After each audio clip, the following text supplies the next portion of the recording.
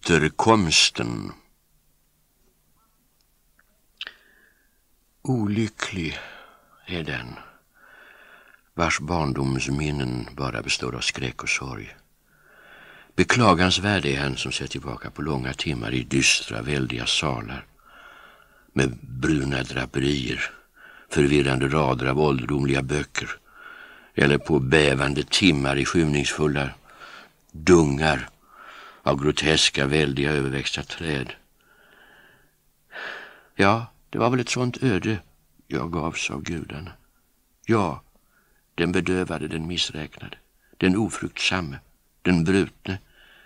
Och ändå, likväl så är jag likväl egendomligt tillfreds och klänger mig förtvivlat fast vid de här dystra minnena när mina tankar för ett ögonblick hotar att sträcka sig bort till det andra.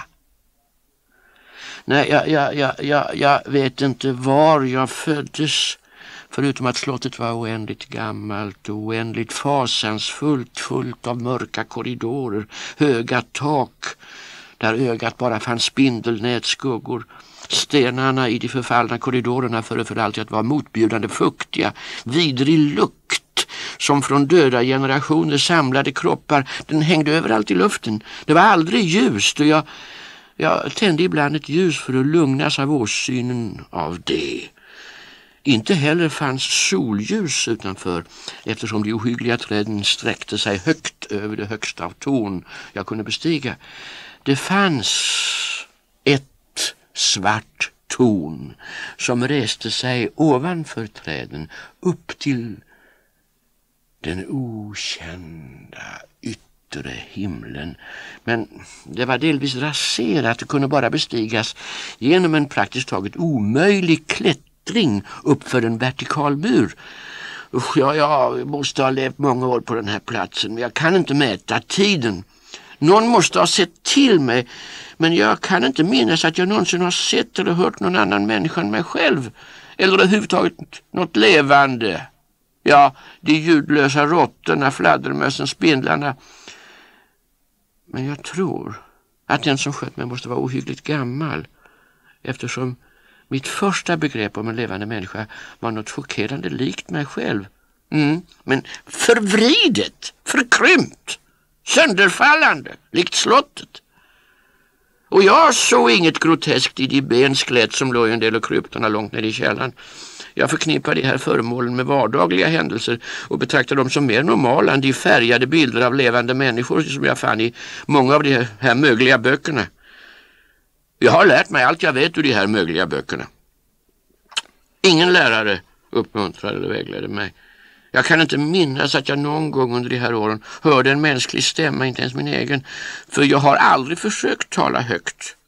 Även om jag har läst om talförmågan. Jag är lika okunnig om mitt eget utseende eftersom det inte fanns några speglar i slottet och jag föreställde mig instinktivt att jag liknade de ungdomliga gestalter som jag så målade och tecknade i de här böckerna. Jag antog att jag var ung eftersom jag mindes så lite utanför, alltså utanför slottet bortom den stinkande vallgraven och under de tysta stumma träden låg jag ofta och drömde i timmar om det jag läste i böckerna. Jag föreställde mig längtansfullt att jag själv befann mig bland de här muntra människorna i den soliga världen bortom de ändlösa skogarna. En gång försökte jag fly genom skogen men ju längre bort jag kom från slottet desto tätare blev skymningen och lyft ja, det kändes som jag fylldes av skräck. Tills jag skräckslaget rusade tillbaka för att inte gå vilse i den här nattlysta labyrinten. Så jag drömde och väntade i den eviga skymningen utan att veta vad jag väntade på. I den skuggiga ensamheten växte sig sen min längtan efter ljuset, ljus så stark att jag inte kunde vila mer. Jag lyfte bönfallande händerna mot det svarta tornet som höjde sig över skogen upp till den okända yttre himlen. Till slut bestämde jag mig för, jag beslöt mig för att bestiga tornet trots att jag kanske skulle falla. För det var ju bättre att se himlen och sen död sen död. Nej, än att leva utan att någonsin skåda dagen. Så i det fuktiga skymningsljuset gick jag upp för de nötta åldrade trapporna tills jag nådde den plats där de upphörde och därefter klängde jag mig vidare uppåt längs den fuktiga stenmuren. Den döda stencylindern var spöklik hemsk inuti, svart förfallen, övergiven av allt utom de oroade fladdermössen som gled fram på ljudlösa vingar. Men än mer spöklik och hemsk var klättringens långsamhet. För hur snabbt jag än klättrade ljusnade inte mörkret över mitt huvud och jag angreps av en ny kyla som tycktes komma från fuktig uråldrig mossa. Och jag darrade när jag undrade varför jag inte nådde upp till ljuset. Och jag skulle ha sett neråt om jag hade vågat.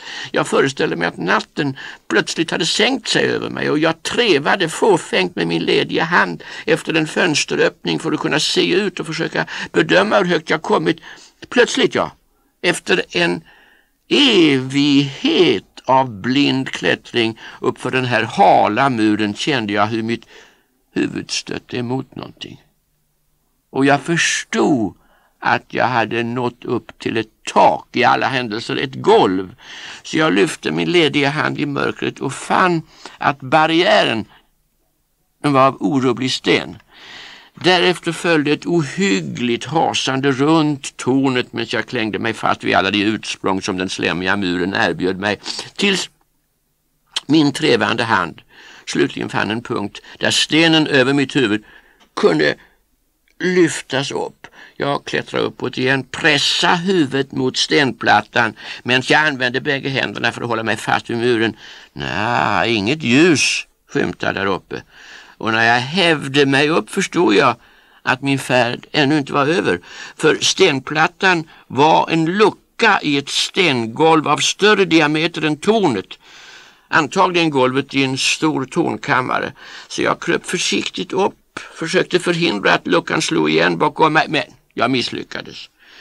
Så medan jag utmattad låg på stengolvet hörde jag det dånande ekot när stenplattan föll ner. Men jag hoppas kunna öppna den igen när det blev nödvändigt. Nu trodde jag att jag befann mig på en oerhörd höjd långt över skogens fördömda grenar.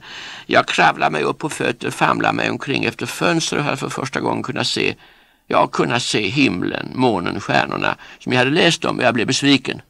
För allt jag fann var stora marmorblock på vilka stod motbjudande avlånga lådor av oroande storlek. Jag grubblade allt mer och undrade vilka förfärliga hemligheter som kunde döljas i det här fjärran rummet som så länge hade varit avskuret från slottet där nere.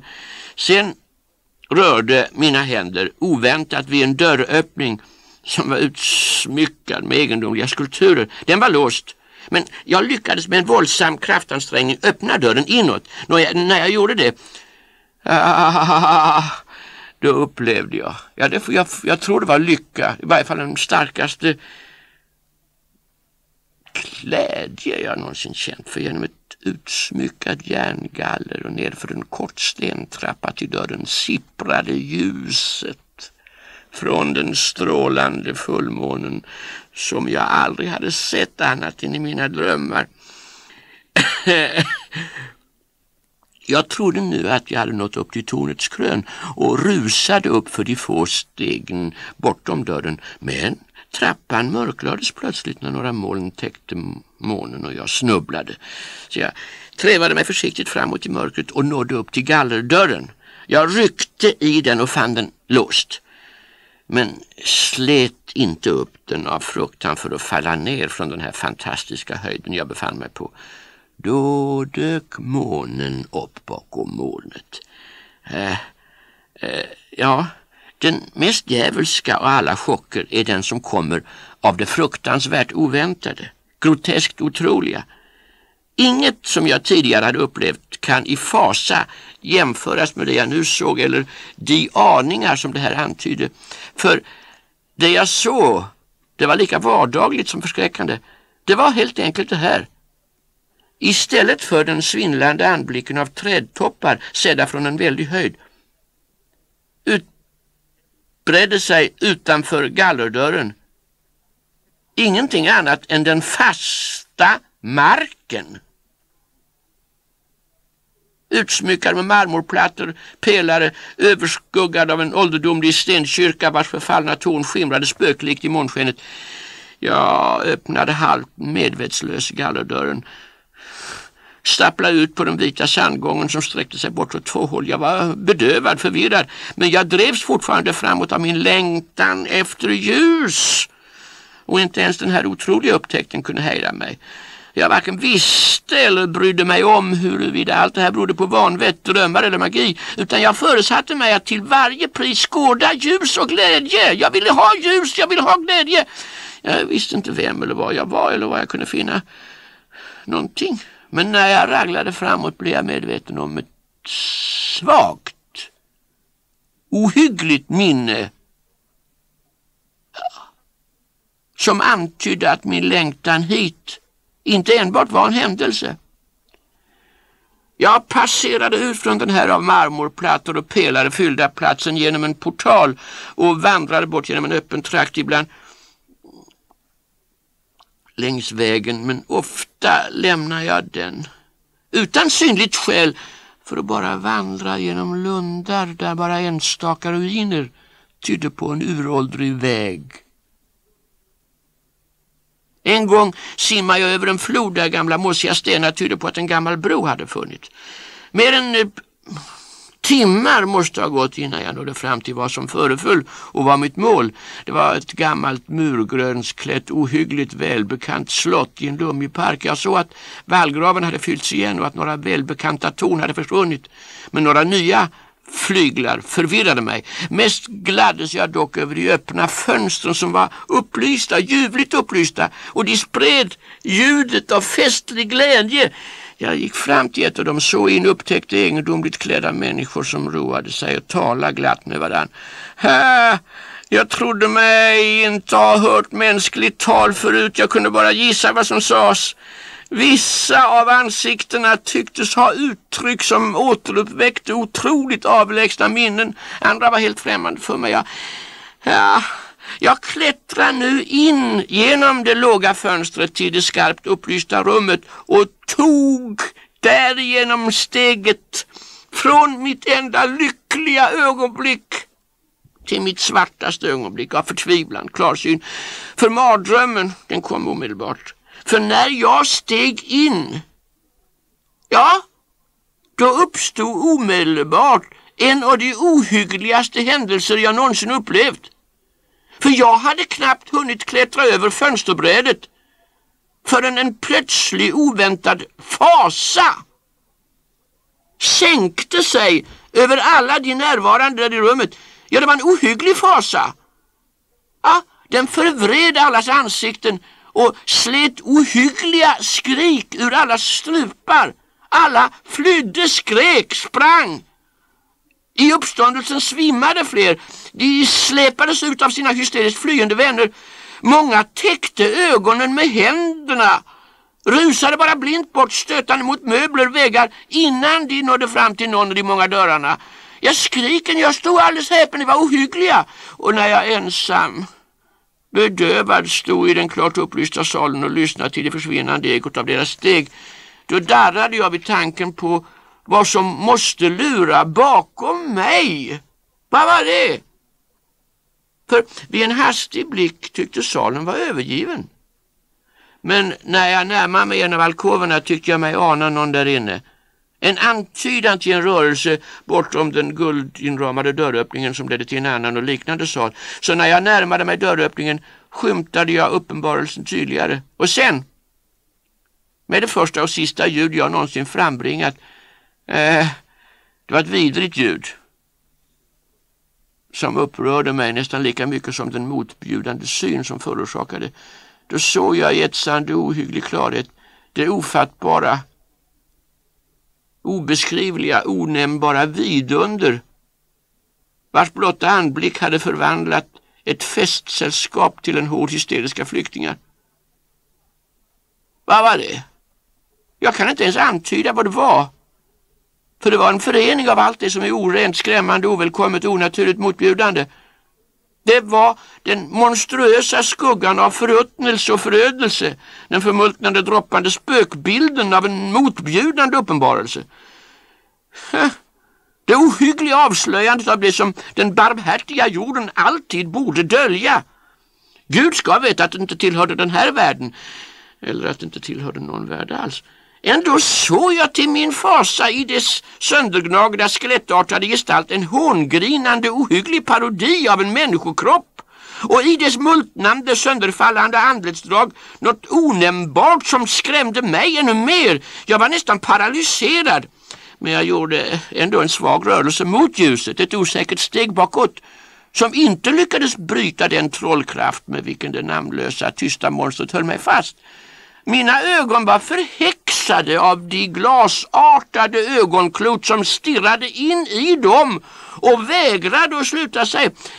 Ändå var de barmhärtigt skumögda och visade efter den första chocken bara en diffus bild av vidundret. Jag försökte lyfta armen för att utestänga anblicken, jag ville inte se. Men mina muskler de var så förlamade att min arm inte förmådde lyda min vilja.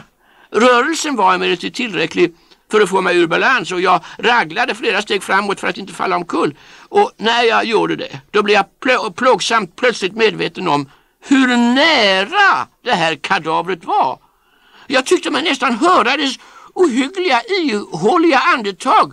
Jag var nästan vanmäktig men jag lyckades ändå sträcka fram en hand för att stöta bort den här stinkande uppenbarelsen som trängde sig så nära in på mig. Och i ett ohyggligt ögonblick vidrörde mina fingrar monstrets ruttnade utsträckta klor under den gyllene portalen. Nej, jag vrålade inte. Men alla de djävulska gastar som rider på nattvinden vrålade med mig när ett jordskred av självförintande minnen i samma ögonblick föll ner över mig. I den sekunden visste jag allt som hade skett. Jag mindes tiden för det hemska slottet. Jag kände igen den förändrade salen där jag nu stod. Mest fasansfullt av allt. Jag kände igen den vidriga skamlighet som hångrinande stod framför mig när jag ryckte bort mina fingrar från dess klor. Men i universum finns frid lika väl som bitterhet. Och denna frid heter glömska. I det här ögonblickets överväldigande fasa glömde jag vad som hade skrämt mig. Och det uppflammande svarta minnet försvann i ett kaos av ekande hågkomster. Jag flydde i drömmar från den här förbannade platsen, sprang snabbt tyst emot månskenet. När jag återkom till kyrkogården, gick ner för trappan, fann jag att stenluckan inte kunde öppnas, men jag var inte sorgsen. Eftersom jag hade avskytt det uråldriga slottet och träden. Jag vet att jag inte är skapad för ljus. Jag är skapad för månsken. Ändå välkomnar jag nästan främlingskapets bitterhet. För även om glömskan har gett mig frid vet jag alltid att jag inte hör hit. Att jag är en främling i detta århundrade och bland de som fortfarande är människor. Det har jag vetat ända sedan jag sträckte ut min hand mot skamligheten där inne i den förgyllda ramen. Sträckte ut handen och vidrörde den kalla, hårda ytan av polerat spegelglas.